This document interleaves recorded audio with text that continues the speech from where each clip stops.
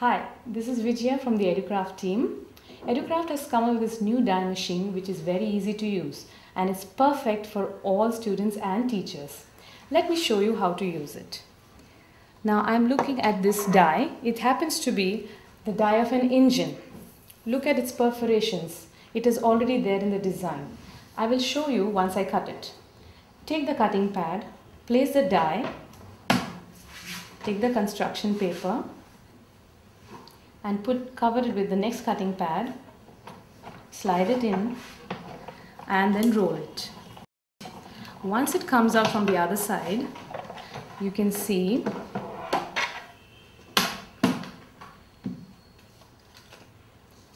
a perfectly cut engine. Look at the perforations. They're so in good detail. You can also use different colored papers for the perforated parts such as a black wheel which can be attached.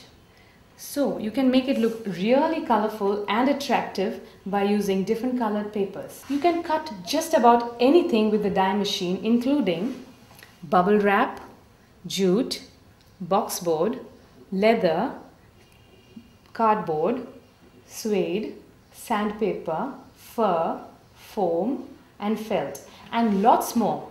So as you see the possibilities are endless. Students are going to love working with this machine.